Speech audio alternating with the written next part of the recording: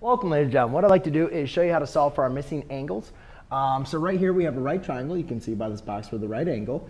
Um, and we have missing angles 1, 2, and 3. Um, so therefore we want to be able to determine, you know, what are the measures of each of those angles um, based on given two angles of 49 and 35 degrees.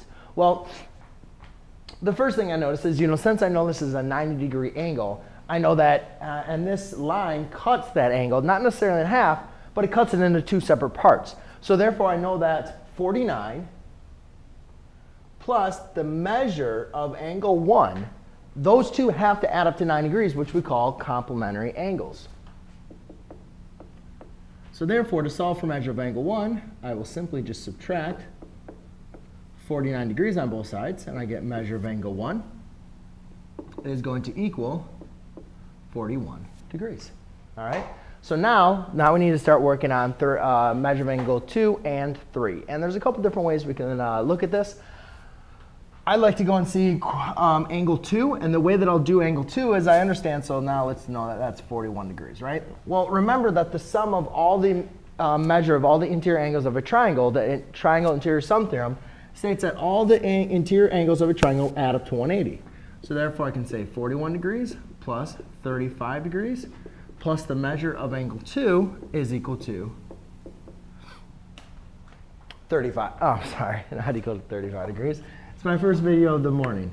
Uh, is equal to 180 degrees. Okay, so now to go ahead and solve for measure of angle 2, I can combine my like terms. So 35 plus 41 is going to be 76 degrees plus measure of angle 2 equals 180 degrees. Now to go ahead and solve for measure of angle 2, I'll subtract 76 degrees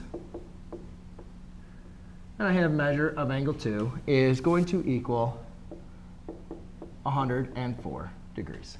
So there you go, ladies and gentlemen. Ah, forgot it. Ah, very, very close, right?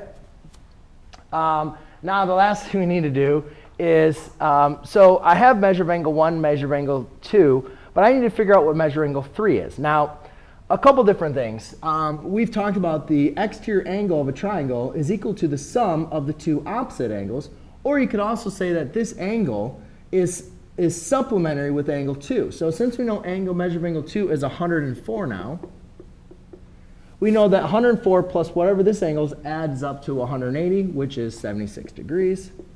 Okay, so now we know that this is 76 degrees. We can use the interior sum theorem again for triangles by adding up these three angles. So I can say 49 degrees plus 76 degrees plus the measure of angle 3 is equal to 180 degrees.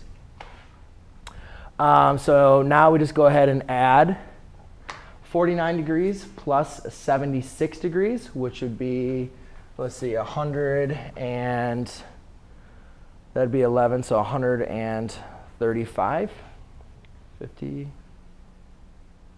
125. Yeah, 125.